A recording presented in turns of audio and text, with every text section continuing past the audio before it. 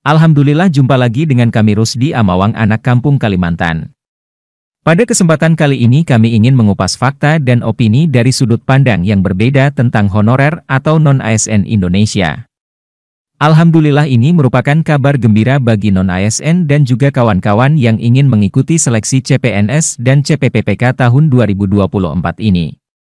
Melalui situs resmi Menpaner B Selasa 4 Juni 2024 berita ini dipublikasikan bahwa soal seleksi CASN sudah diserahkan oleh Panselnas. Dengan diserahkannya naskah soal ini kemungkinan sebentar lagi akan segera dibuka seleksi penerimaan CPNS dan PPPK tahun 2024.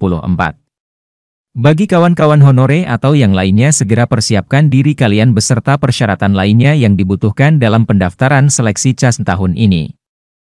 Berikut berita selengkapnya terkait dengan penyerahan naskah soal dari Menpan RB, Jakarta.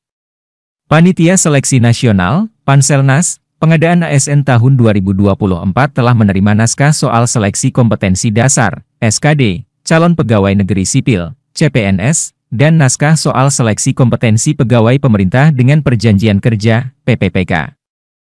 Naskah soal ditulis oleh 38 perguruan tinggi se-Indonesia.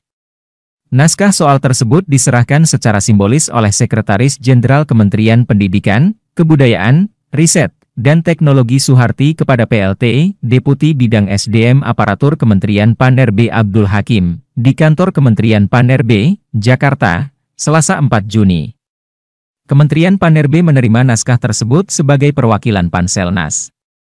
Soal-soal ini terdiri atas seleksi kompetensi dasar, SKD, CPNS. Sementara untuk PPPK, naskah soal itu meliputi seleksi kompetensi manajerial, kompetensi sosial kultural, dan wawancara, serta seleksi kompetensi teknis. Menteri Panerbe Abdullah Azwar Anas mengungkapkan apresiasinya terhadap tim penyusun naskah soal yang telah bekerja keras demi menciptakan ASN yang berkualitas.